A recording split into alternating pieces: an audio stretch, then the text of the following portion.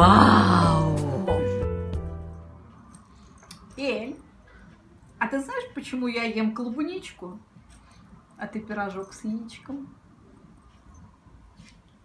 Нет. А ну покажи свой лифчик. А, знаешь, что я тебе скажу, детка?